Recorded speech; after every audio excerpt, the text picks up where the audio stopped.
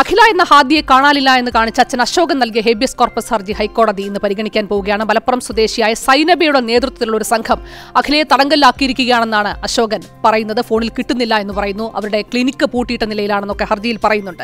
അഭിലാഷ് നായർ തന്നെയാണ് ഇതിന്റെ വിവരങ്ങൾ നൽകുക. അഭിലാഷ് വീണ്ടും ഹാദിയ കേസ് ചർച്ചയിലേക്ക് വരികയാണ്. ഇന്നിപ്പോൾ കോടതിയിൽ നിന്ന് എന്താണ് നമ്മൾ പ്രതീക്ഷിക്കുന്നത്? കഴിഞ്ഞ ദിവസം ഹാദിയുടേതായ ഒരു പ്രതികരണങ്ങളൊക്കെ നമ്മൾ കാണുകയും ചെയ്തതാണ്.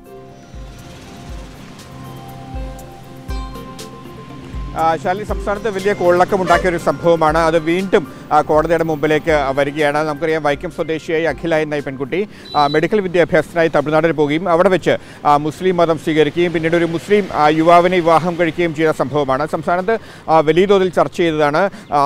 ഈ ഹാദിയുടെ കുടുംബാംഗങ്ങൾ തന്നെ ഇതിനെതിരെ കോടതിയെ അടക്കം സമീപിക്കുകയും വലിയ നിയമയുദ്ധങ്ങൾക്ക് അടക്കം തന്നെ വഴിവെക്കുകയും ചെയ്തായിരുന്നു പിന്നീട് ഈ പെൺകുട്ടി മലപ്പുറത്തായിരുന്നു താമസിച്ചിരുന്നത്. അവിടെ ഒരു ക്ലിനിക്കിൽ ജോലി ചെയ്യുകയായിരുന്നു. പക്ഷേ ഇപ്പോൾ ഈ ക്ലിനിക്ക് പൂട്ടിക്കിടക്കുകയാണെന്നും മകളെ കാണാനില്ല എന്ന് കാണിച്ചുകൊണ്ട് വൈക്കം സ്വദേശിയായ പെൺകുട്ടിയുടെ അച്ഛൻ അശോകനാണ് ഇപ്പോൾ ഹൈക്കോടതിയിൽ ഹേബിയസ് കോർപ്പസ് ഹർജി നൽകിയിരിക്കുന്നത്.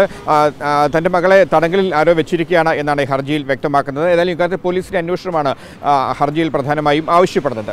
വെള്ളിയാഴ്ചയാണ് ഈ ഹർജി ഹൈക്കോടതിയുടെ മുമ്പിൽ വന്നത്. പക്ഷേ ഹേബിയസ് കോർപ്പസ് ഹർജി ആയതുകൊണ്ട് ജസ്റ്റിസ് അനു ശിവരാമനാണ് ഇത് പരിഗണിക്കുന്നത്. അതുകൊണ്ട് ഈ സിംഗിൾ ബെഞ്ചിലേക്ക് മാറ്റുകയായിരുന്നു ഇന്ന് ഈ ഹർജി കോടതിയിൽ വരും. നമുക്കറിയാം നേരത്തെ സൂചിപ്പിച്ച പോലെ വലിയ ചർച്ചയായ വലിയ സാമൂഹ്യ രംഗത്തടക്കം തന്നെ വലിയ ചർച്ചയായ ഈ വിഷയം. വീണ്ടും സജീവമാവുകയാണ് ഈ ഹർജിയിലൂടെ എന്നാണ് വ്യക്തമാക്കുന്നത്. പക്ഷേ ആദ്യ തന്നെ എന്താണ് സംഭവിച്ചത് അടക്കമുള്ള കാര്യങ്ങൾ പരസ്യമായി തന്നെ പറഞ്ഞുകൊണ്ട് രംഗത്ത് വന്നിട്ടുണ്ട്. പക്ഷേ എങ്കിൽ പോലും ഈ ഹർജി ഇന്ന് പ്രധാനപ്പെട്ടതാണ്. കോടതി ഇക്കാര്യത്തിൽ സ്വീകരിക്കുന്ന നിലപാടും പ്രധാനപ്പെട്ടതാണ്. ഉച്ചയ്ക്ക് മുമ്പ് ഈ ഹർജി ഹൈക്കോടതിയെ പരിഗണിക്കും. ശാലിനി.